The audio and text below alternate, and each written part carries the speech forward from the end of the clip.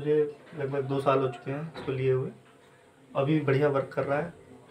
देखते हैं कैसे इसको ऑपरेट किया जाता है। सबसे पहले ये जो स्विच गया है इसको मैं ऑन करता हूँ। तो इस तरीके की एक लाल बटन और एक पीली बटन मिल जाएगी। पीली बटन बटन बता रही है कि ऑलरेडी ये, हीटिंग कर रहा है। और यहाँ से ये इनलेट गया है और यहाँ से आउटलेट आउटलेट आया पानी का। ठीक है ऑन रखा है मैंने। पानी इससे जाएगा। और ये गीज़र इसको गीज़र में एक हीटिंग फिलामेंट होता है, उस पानी को गर्म करेगा और यहाँ से जब पूरा ये गर्म कर लेगा तो यहाँ ये ये बटन बंद हो जाएगी, केवल लाल बटन जल जाएगी। ऑटोमेटिक गीज़र है ये।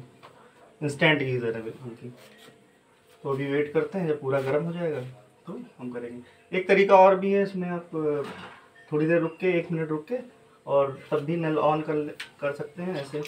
तो गर्म पानी आने लगता है। लेकिन अगर आपको बहुत गर्म पानी चाहिए आप वेट कर लीजिए जब पूरा लाल हो जाए तब इसको हम